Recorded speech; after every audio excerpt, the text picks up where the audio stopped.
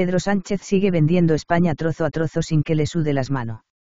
Esta vez va a conceder un total de 15 millones de euros y medio a aquellos ayuntamientos donde Bildu, ese partido de asesinos, gobierna. Dinero que gastarán en impulsar el euskera. Todo esto a cambio de que Bildu apoye los presupuestos generales del Estado.